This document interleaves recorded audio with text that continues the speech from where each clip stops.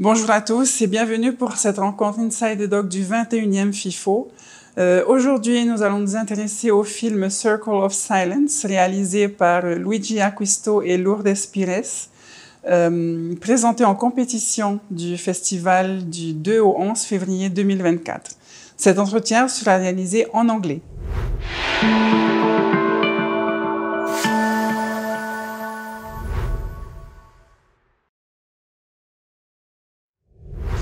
Yorana Steven, and um, congratulations on this on this film.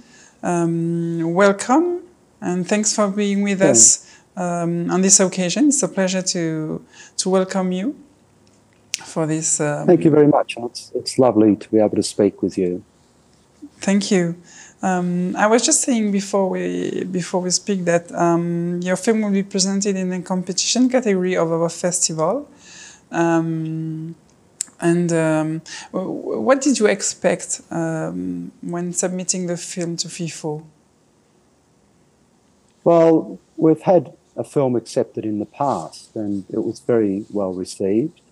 And so we felt that it would be a, a good place for Circle of Silence, which deals with not the same subject matter, but it's a, a Timorese, East Timorese story, this time with an Australian, uh, strong Australian aspect to it.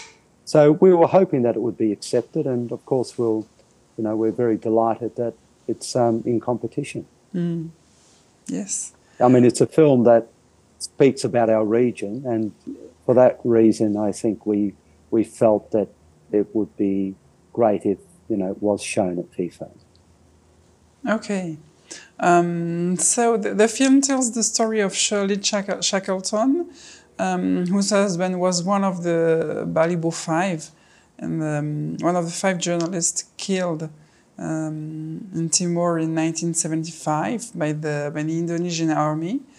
Um, and for almost 50 years, she dedicated herself um, to lead her own investigation about um, about uh, about the, the the story as the the Australian Federal Police abandoned abandoned their their, their investigation, and um, with her book first and then um, in this film she brings new evidence on the table.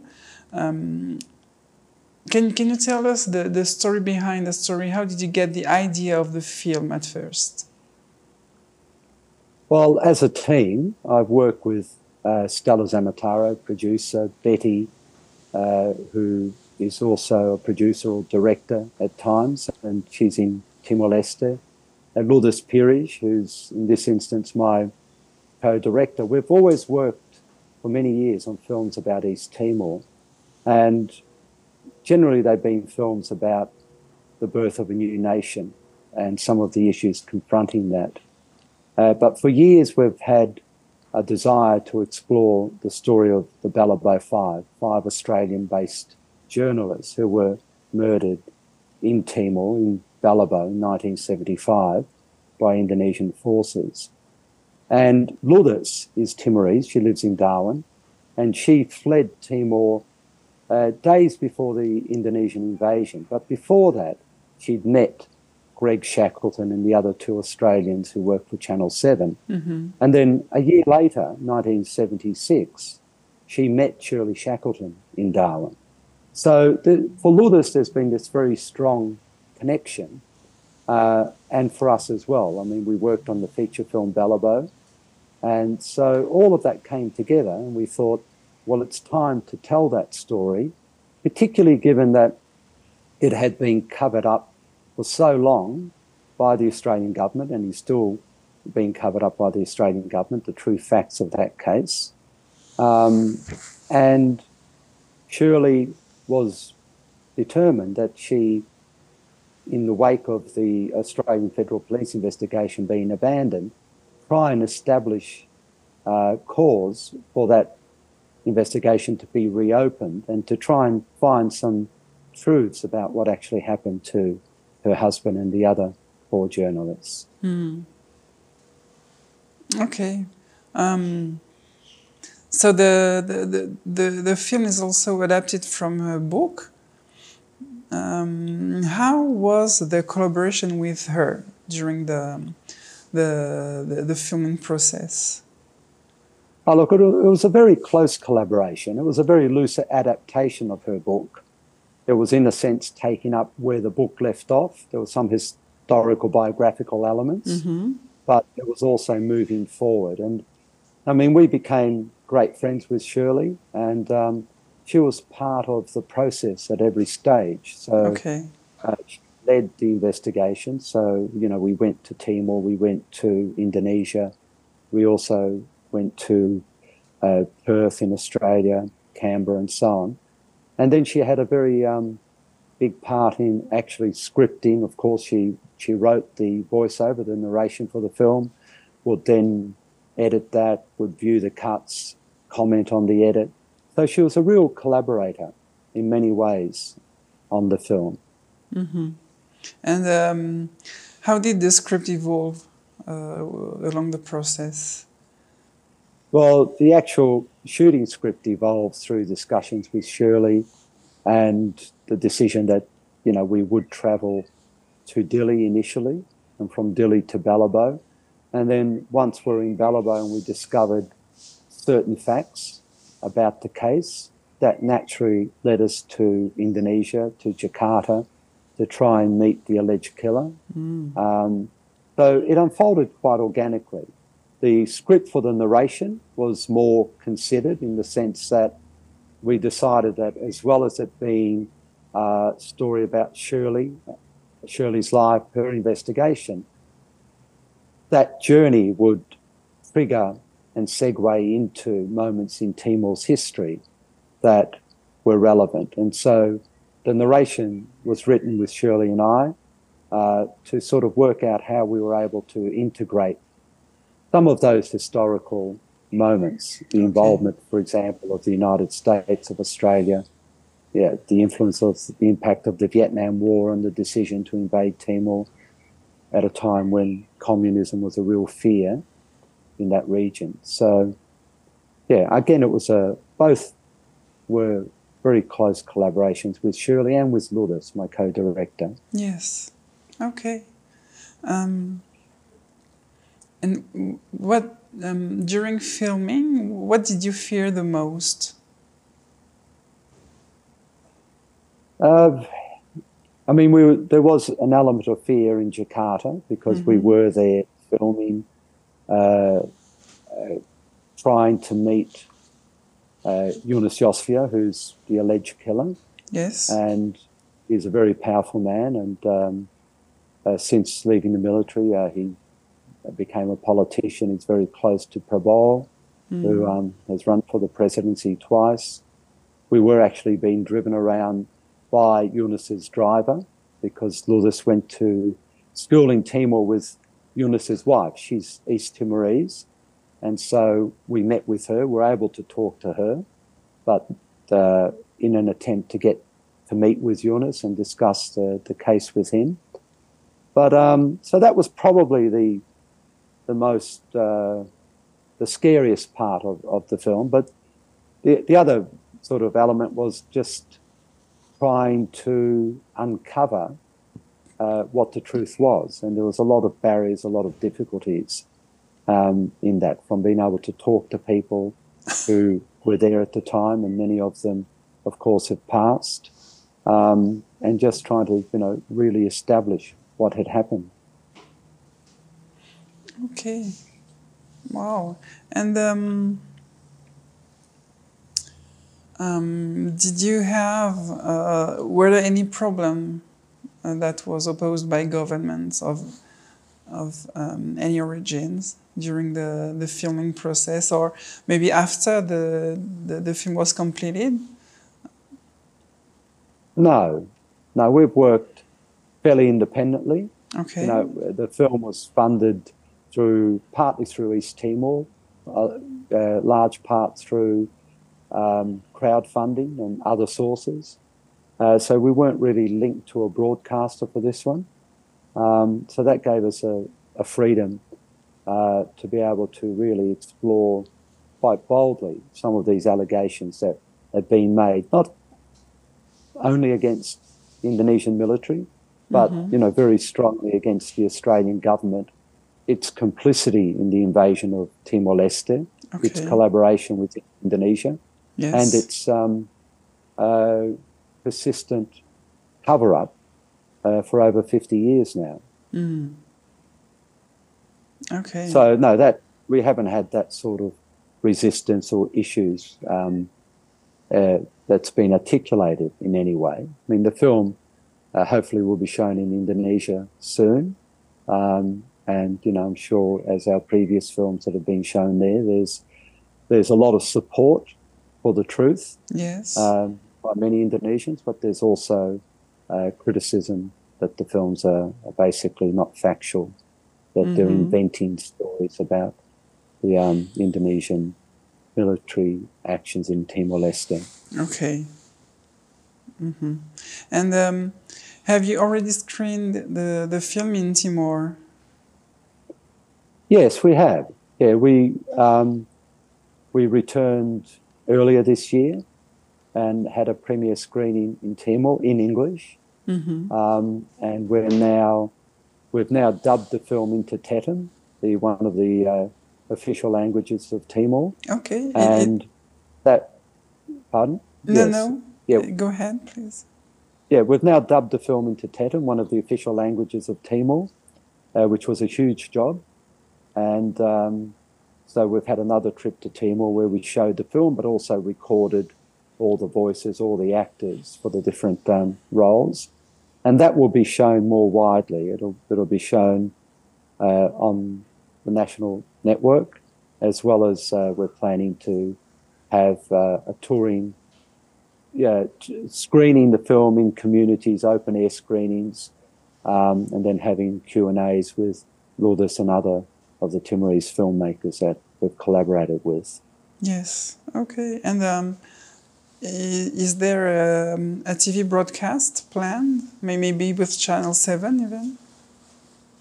No, we've um, we've uh, shown it theatrically in Australia, so it's Yes. been uh, in the cinemas all around the country. Okay. It's been picked picked up by the ABC, um, ABC International, Mm-hmm. and we're still discussing uh, uh, free to air network here, but we'll be exploring that as well as um, streaming services uh, Okay. very short. It's quite a controversial film, so you can never really tell yes. You never can tell. the reasons are for why you know it's often met with a, a silent response. Mm. But um, yeah, no, it's had a, had good exposure here, and um, yeah, it's had good exposure here, Mhm. and you know we're hoping to get it on on as I said, free to air or a streaming service in Australia as well. Yes. And then you have the the the FIFO audience as well. Yes, no, that's wonderful. And um, yeah, we're very very happy with that, and very very proud to be part of the festival. Uh, yeah, and looking forward to to the screening very much. Yeah, we do too. And um, well, um, until then, what kind of feedback did you get from the audience who see who saw the the, the film? Because I, I mean, as you said, it's a it's quite controversial uh, controversial as a film. So, is the feedback um, also um, mitigate? Well, the, the feedback we've had is always there's been positive. There's been, I mean, it, it's a it's a film that it, it does re- reveal a number of new facts about what happened, and it moves the investigation forward. Uh, but it also tells the story of what happened from 75 till today uh, in relation to the cover up by the Australian government, New Zealand, Britain, Indonesia, of course, not only to the murders of the five journalists, but to, but to another Australian journalist who was murdered on the day, the day after the invasion, Roger East, and to the genocide that unfolded in Timor. And the Australian government was very closely complicit in that for decades. Uh, not only complicit in that it turned a blind eye, as uh, Professor Clinton Fernandes says in the film, Australian officials looked directly at what was happening and helped. So that was a shock to many Australians who have seen the film, particularly Australians of the left who uh, adored the Prime Minister of the time, Gough Whitlam. Yes. Um, and, you know, didn't realise his uh, involvement in the, uh, with Indonesia, his complicity in the invasion, possibly in the cover up of the, the murders, and then subsequent prime ministers from Malcolm Fraser onwards. So it's been quite eye opening for many people. Mm-hmm. Um, and in Timor, it's had a very good response, and it's a valuable tool because there's very little uh, literature, historical literature, any literature, literature of any sort. So the film's really quite an important document that uh, tells the history of Timor in a very broad way from 1975 onwards.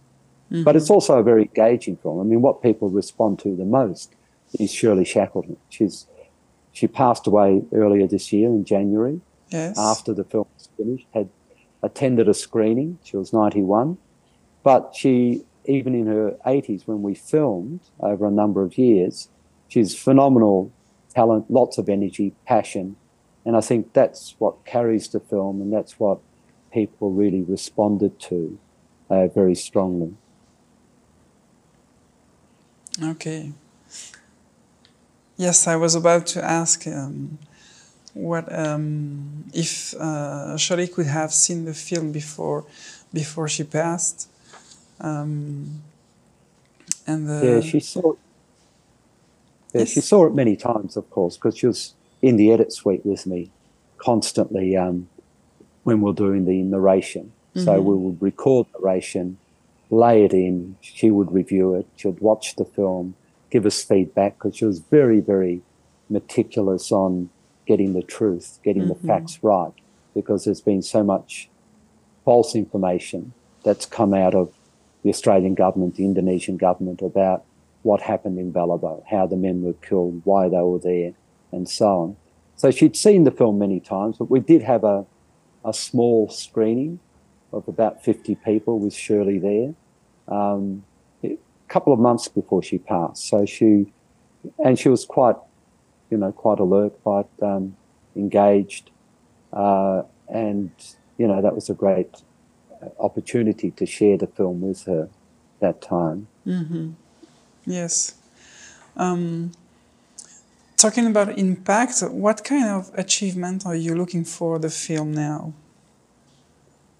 Well, there's several things we want to achieve. One is to get it shown in East Timor widely in Tetum. So there's still a high level of illiteracy, so subtitling Yes. wasn't going to work. Okay. Um, and so we've moved towards that. We've dubbed the film into Tetum, and we uh, have discussion. We've had discussions with uh, RTTL, the, the broadcaster there, and uh, we're planning to travel with the film.